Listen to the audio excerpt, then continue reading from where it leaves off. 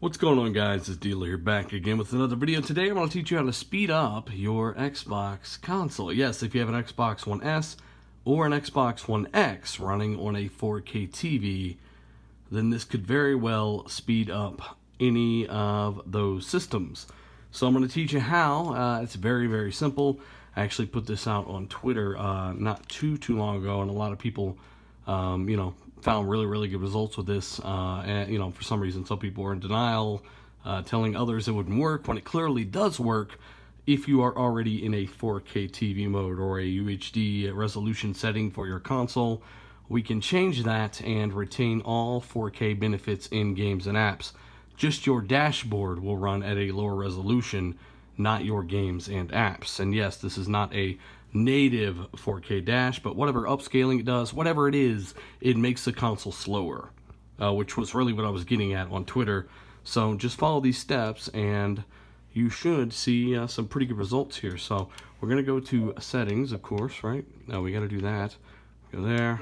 Uh, I do not have an Elgato, or I would definitely, wrong thing, I would definitely be doing this uh, a different way. We're going to go to display and sound, uh, and from there, as you see, we can go over to a video output, uh, all very step by step, very simple. Uh, and there's going to be your 4K UHD resolution uh, setting right there. That is what we would be switching to 1080p. Uh, and as long as this setting here is enabled, allow 4K, boom, it says it right there in the description itself. Even if your console is running at a lower resolution, it allows your games and apps to take advantage of, let's say, your 4K mode in an Xbox One X game or your 4K Netflix, anything like that, you're good to go. It's all independently rendered, so you don't got to worry about uh, system level resolution.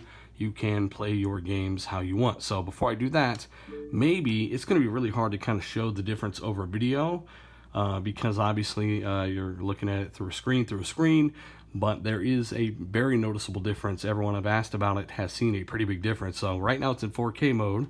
We'll go to the home dash here, and even just going to games and apps, um, we'll kind of load that up. That was actually pretty snappy because I just recently done it. I'm sure it's in the RAM, but uh, just scrolling through this, you know, uh, you know, it can get boggy, things like that. It's not absolutely abysmal at all times in the 4K mode, and I'm at no means saying that, but even in the store, for instance, um, let's go to new games. I just loaded this too. It's probably still in the RAM pretty good, but uh, it's just, there's, there's like an extra, it seems like 50 milliseconds or so of input lag, and some things just do not load as snappily as they could. Uh, whereas if I go back to the settings and uh, go back into changing the display resolution to 1080p, uh, we should see some very good results there in terms of snappiness. Uh, so now it is in the 1080p mode. I hit the button, boom, go home. It's, I feel like that already loaded faster. Go into games and apps and then we got boom and as we scroll through um, it just seems like things are a little more snappy. Uh, direct input buttons you know everything just seems right more one-to-one -one than usual. Uh, if I go to the dashboard uh, it will definitely cycle tabs much faster. If I hit the bumpers it seems like once it loads everything. And then and most importantly if I go back into the store it seems like you know the store loads faster is more responsive. Like just compare that to before even.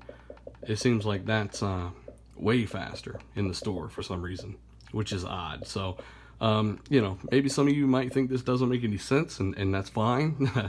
But uh, from my experience lowering that resolution of the dashboard to 1080p uh, has only made this thing faster. And this is a store right now. Like in 4k mode this would never do this um, which is really odd. Um, but that's just how they they have things set up. So I wanted to throw this out there because a lot of people enjoyed the Twitter the Twitter uh, or the Twitter post rather that I did on this and found success with this. They really enjoyed it, so I figured I would make a video on this and uh, kind of help some of you guys out if you wanted to know how to make your system a little bit faster uh, and more responsive change that system level resolution down to 1080p and then as long as allow 4K is selected, uh, as long as uh, allow HDR is selected, you will still get those two things independently of the dashboard. So you'll still get them in your games, your apps, but when you go to the dash, it'll be whatever 1080p scaling the dash does in that 1080p mode, as opposed to that UHD mode, which uh, shouldn't be a full native UHD. There's some kind of upscaling there, but whatever upscaling it does do, uh,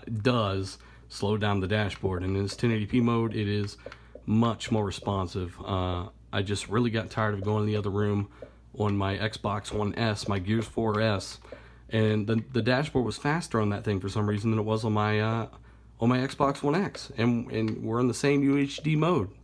So I'm not really sure why the X dashboard has kind of gotten slower. Uh, maybe the uh, the update team for Microsoft are gearing up uh, for some good updates and patches on this, but it's definitely been a problem for a lot of people. If it's not been a problem for you, that's great. Uh, I'm not saying it's for everyone, but there are a lot of people out there like myself wondering why this dashboard has just slowed down since November 7th, 2017. It's never, uh, you know, it, it, was it's it's been fastest then than it's ever been on an Xbox One X, and lowering everything down to this 1080p mode has definitely helped me. So I figured I'd bring this out and uh, let you guys know about it. You know, maybe you don't care, or maybe you think yours is fine. That's 100% uh, fine. But if you do notice things are a little boggy, try this out and uh, let me know what you think. Uh, if it does work for you, which that's all I've heard from anyone who's tried it, there's definitely a difference. Uh, be sure and comment, let me know. Be sure and hit that like button on this video if it helped you. If you learned something here today, of course, uh, share this with as many people as you can. That always helps. And of course, subscribe if you're new. I'm Dealer. I'm out.